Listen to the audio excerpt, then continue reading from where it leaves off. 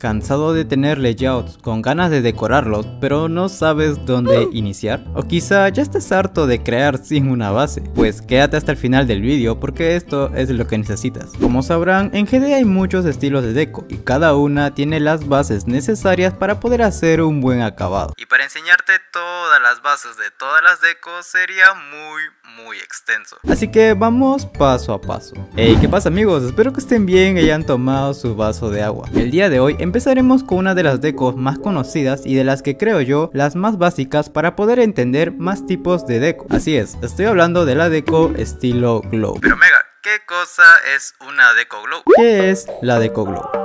La Deco Glow o la Deco del Featuret para los de buena vista, pues es una deco que como su mismo nombre lo dice, predomina el glow y de ella se sacarían muchas variantes como algunas deco modernas con la Deco Glow, como también la decoración artística, sobre todo para hacer esos arts de galaxia que a todos nos gusta. ¿Y por qué la llamo la deco del Featuret? Pues porque este es el típico estilo que te encontrarás en la sección del Featuret, por lo que sí, esto hace ver la deco Glow una muy genérica, una deco que a simple vista parece que todas tienen el mismo patrón de deco y etc. Pero como ya debes saber, genérico no es sinónimo de horrible, solo es algo ya muy usado. Así que no quisiera que luego algún decorador Glow piense que he dicho que la deco Glow es fea. Pues no, al contrario, me parece una muy buena, pero solo que muy usada. Promega, ¿entonces nos enseñarás una deco genérica? Sí, pero no. Por si no sabías, el glow se puede usar más que solo en estructuras, tales como en efectos, fondos ambientales y fondos para mejorar el layer deco. Sí, hay distintos tipos de fondo, pero eso para otro vídeo que estará aquí arriba a la derecha cuando lo tenga listo. Usos del glow. Como bien dicen, siempre se empieza por el inicio, así que empezaremos a ver los usos básicos que le puedes dar al glow, como por ejemplo el sombreado usando el color negro para el glow y detalles de resplandor usando ya el glow con blending. ¿Cómo hacemos esto? Tips de sombreado y resplandor. Cuando queremos hacer uso del glow para el sombreado, pues hay tres formas que se suelen usar. Número 1. Usar el mismo color del relleno pero oscuro. De esa forma, en lugar de usar un nuevo canal de color, solo usas el HCV y le bajas el brillo.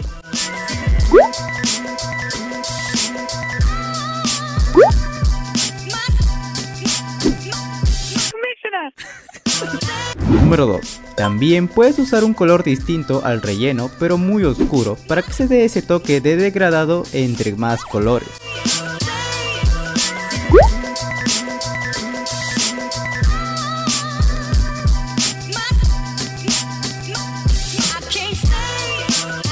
Número 3, o el más usado, el color negro para el glow, y así jugar con la opacidad y buscar la sombra que mejor quede con la deco. Y eso sí, te recomiendo no usar un relleno muy oscuro o el sombreado no se notará del todo. Y ahora vamos con el resplandor. Número 1.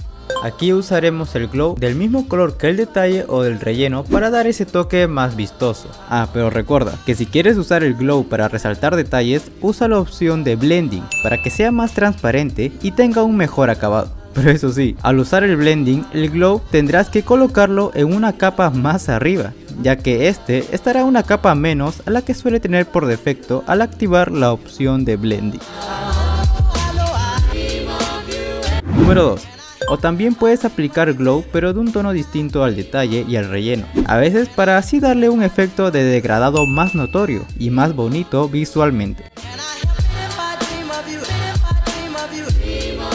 Ahora recuerda lo que hemos visto hasta aquí, que la mayoría de veces se agrega la iluminación para resaltar los detalles de la estructura, o también se suele usar para la parte exterior de la estructura. El sombreado te servirá para darle más realismo, para darle la apariencia de que se ve más completo el diseño, o sea que no se note tan vacío. Vale, ahora comencemos por los usos ya un poco más avanzados. Aquí entra el uso del glow como parte de los efectos. Y sí, ya hice un video hablando de los efectos que se suelen usar en un layout y las ventajas que tienen al usar algunos de ellos. Aquí a la derecha por si quieres verlo. Pero aquí cuidado, algo que no aclaré en ese vídeo fue que al usar excesivamente el glow en ocasiones nos presenta algo de lag en nuestro nivel. Por lo general esto ocurre con usar el glow circular, ya que este no está tan optimizado como parece. Pero mega, aquí estás usando como 2000 objetos en un solo espacio. Es normal que te dé lag. Pues no amigo, aquí puedes ver que solo se produce con este objeto y no tanto con este otro y ni hablar de los demás. Así que tener mucho cuidado de no petar tu nivel con mucho glow circular.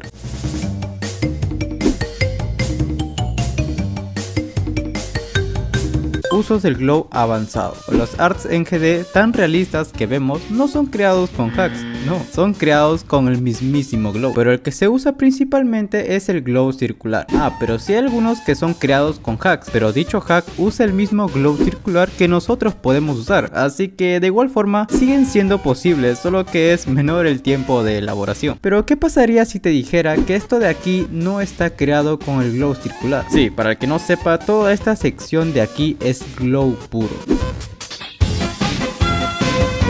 Seguro me dirán loco, pero no amigos. Una de las razones del por qué los arts de glow son avanzados es porque no solo se usan los glow. La verdad es que cualquier objeto del editor puede volverse un glow. No 100% idéntico, pero sí uno más ligero. Pero mega, como que cualquier objeto. Así es, basta que uses un objeto, le des el color con la opción de blending o no, y juegas con su opacidad. Eso sí, esto solo lo recomiendo para los arts principalmente. Cuando harás una deco, pues te recomiendo usar ya el glow normal. Parecerá broma, pero esta técnica también te servirá para poder optimizar tus niveles, ya que como vimos antes, el objeto de glow no está tan bien optimizado como parece pero nada puede igualmente imitar a la perfección ese degradado del glow. Es por eso que se suelen combinar ambas cosas en los arts más avanzados para poder optimizar dichos resultados, tal como vemos aquí que también lleva un poco de glow. Otro mismo ejemplo podemos verlo en los arts de galaxia y etcétera. Que por cierto, si quieres que haga un vídeo sobre los arts, dejarlo aquí abajo en los comentarios. Vale, creo que ya tienes la parte introductoria sobre glow. Ahora vamos a por los tips. ¿Cómo crear un buen nivel estilo Glow. Tip número 1. Las secciones. Como su mismo nombre lo dice, crearás espacios dentro de una estructura. ¿Y para qué? Pues para que tu estructura, que antes solía verse toda simple al decorarla, ahora se vea más profesional. Y sí, aunque no lo creas, hacer uso de esta técnica es muy de este estilo de deco. Tales ejemplos lo podemos ver reflejado en muchos de los niveles que tienen este tipo de estilo. Y ahora te diré el porqué. Tip número 2. Espacio reducido. No es un misterio decir que para una deco glow es muy necesario el glow. Y al tener una estructura muy grande con mucho espacio libre, pues aquí no sabrás muy bien dónde colocarle el resplandor o el sombreado. Y al hacerlo notaremos que la estructura se ve algo vacía. Pero ¿qué pasa si le agregamos secciones? Pues el espacio de la estructura se reduce en varias partes y podemos ya darnos una idea de dónde colocar el sombreado, resplandor y los detalles. Que ahora vamos a eso. Y así poder tener un patrón de deco, que tranqui, también explicaré lo del patrón de deco más adelante.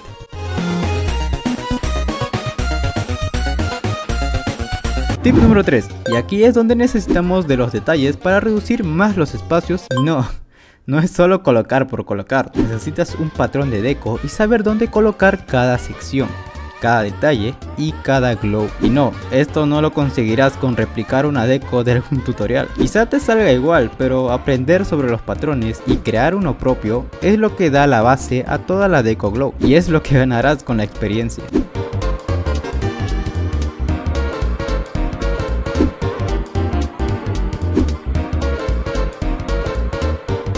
Tip número 4 el BG oscuro. Algo que yo recomiendo si eres un creador novato y quieres aprender más de la Deco Glow es empezar con un ambiente oscuro, como el BG, G1, G2, que todo esté totalmente oscuro, pero que el diseño de la estructura como los detalles y el glow que este tenga pues puedan notarse muy bien y así lograr un buen impacto visual. Claro, esta es mi recomendación. Algo que se suele ver mucho en los niveles de diseño Glow es esto como te dije, pero cuando ya tengas más experiencia con el estilo Glow podrás romper esta regla y aplicarlo a tu Tip número 5. Las superficies. ¿Y a qué me refiero con esto? Pues para este tipo de estilo se suelen usar diseños de estructuras que tengan como base alguna superficie, como el suelo o el techo, ya que como ustedes pueden estar notando queda muy bien.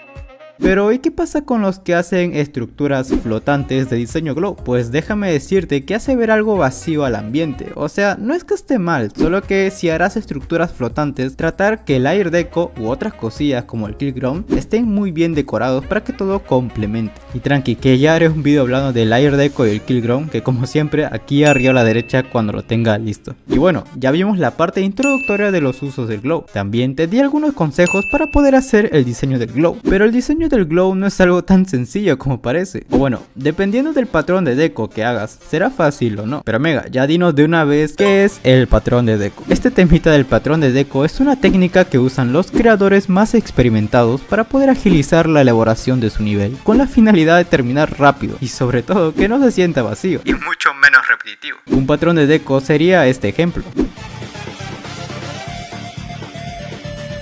Prestar atención a los detalles porque luego lo replicaremos en otra estructura y evitaremos que se parezcan pero que ambos aparenten estar en la misma temática.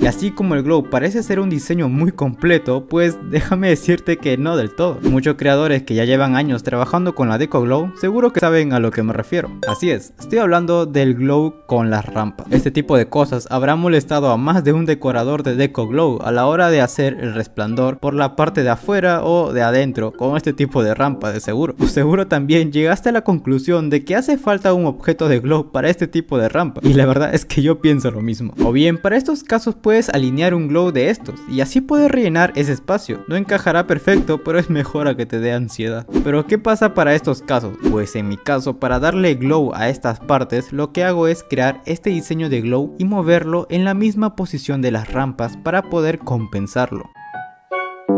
Y uff, ya después de mucha teoría con tips, vamos a usar todo lo del vídeo para la recreación de una Deco Glow. Antes de continuar, me apoyarías bastante con suscribirte y dejar tu like, que eso me motivará a seguir subiendo videos más seguidos.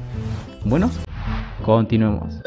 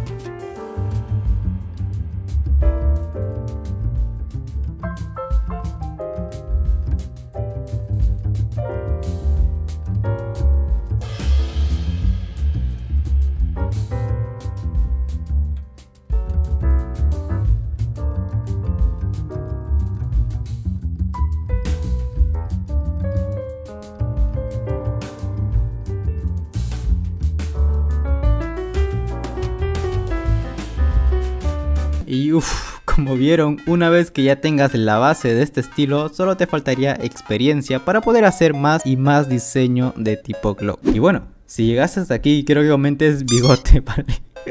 Nada que ver, pero así sabré quiénes son los que se quedaron hasta esta parte del vídeo, quiénes son los que han esperado un vídeo mío.